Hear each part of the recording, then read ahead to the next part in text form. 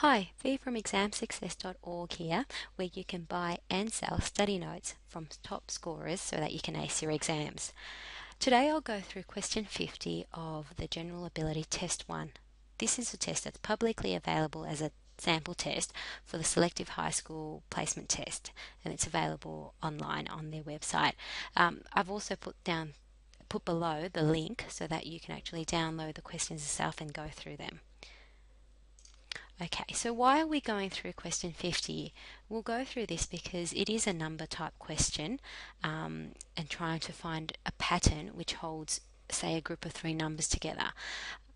Out of all the um, questions in the general ability test, this is, I guess, one of the more difficult ones in that the pattern isn't so obvious, but there is a way to actually, I guess, bring out that pattern and decipher um, it from all the information out there, and I'll show you easy ways to go about it. Well, that, that brings us on to the second point, how to solve it. In 3.1 and 3.2 in my book, General Ability to Reach for Exam Success, which you can download off selectivetest.net, this actually goes through in detail the various methods that you can use, um, and they're really easy and un to understand, um, to come out to come up with finding out the patterns for number questions and other general ability type questions. And finally, after this, I'll give you three points to take away.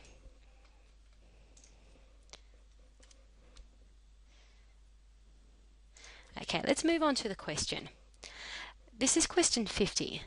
I'll read it through and um, we'll go about answering the question whilst I highlight some of the difficulties and then um, make known what that pattern is that holds these three numbers here together. Okay, the numbers in each of the three brackets follow the same rule. Find the missing number. So first thing first, I would read the question. So I know that three brackets here, two, three. Each one of these three numbers follow the similar rule follow a similar rule. So therefore, you can apply whatever rule is in the first two to trying to find the last number here. Okay, how would you go about doing this? Now that we've read and understood the question, the first part is looking at the numbers. First of all, what I would do is look at how the numbers are moving in absolute terms. So you've got a small number large number, and then a small number. Small number, large number, and small number.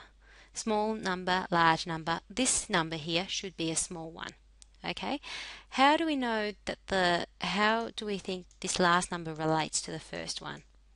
Well, there isn't really a relationship because 15 is larger than 10. However, 23, 23 is smaller than 37 the first things first things first, what I would do is I would think after I find out that the the relationship is small, medium, small, sorry, small, large, small, I would then think about what operations, so plus, minus, divide, multiply, would be involved. So I'll change my pen color here just to show you. Here I see that 50, oops, 50 is a large number. So is 120. So therefore, they must minus or divide the first number.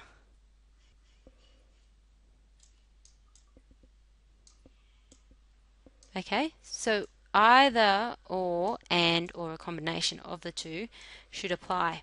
So 50 minus or divide a certain number would equal 10 or would come close and then applying a different number. That doesn't really make sense. So I'll, I'll try and explain it a bit easier than that. So just say this.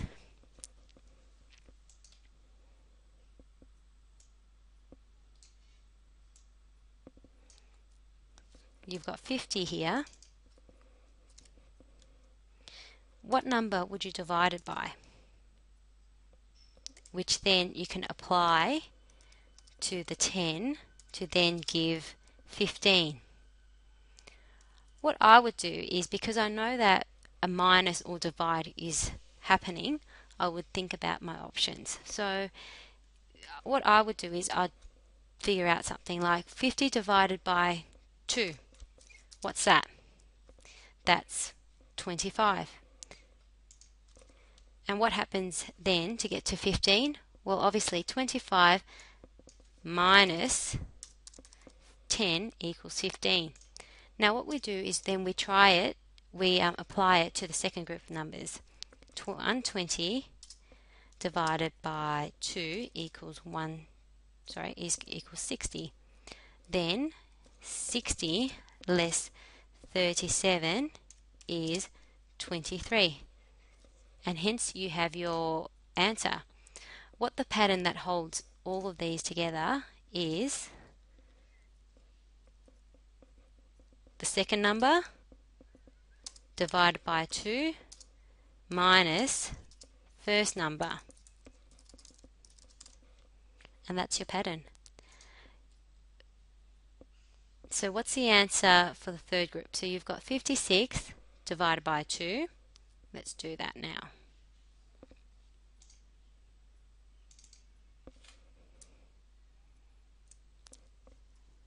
Fifty-six divided by two. Two divided by five divided by two is two. Carry the one. Two into sixteen now is eight. So twenty-eight. Then 28 minus the first number being 16 is what? Equals 8 minus 6 is 2. Then 2 minus 1 is 1. So your answer is 12.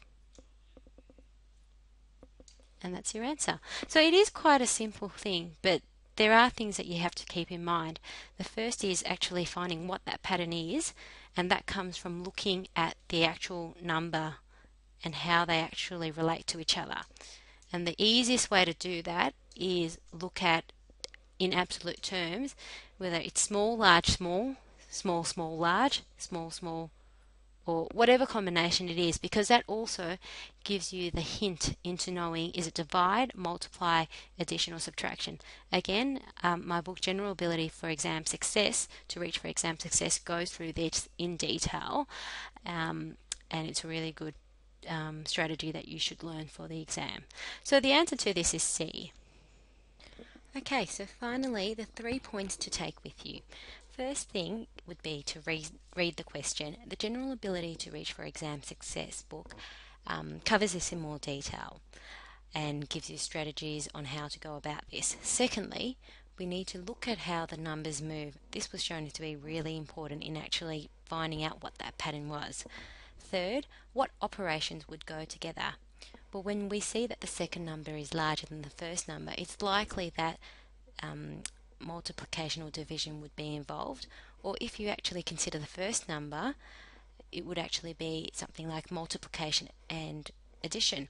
So it's um, first things first would be how the numbers move, and then secondly, what operations would go with how the numbers move and that would help you into finding out what that pattern is.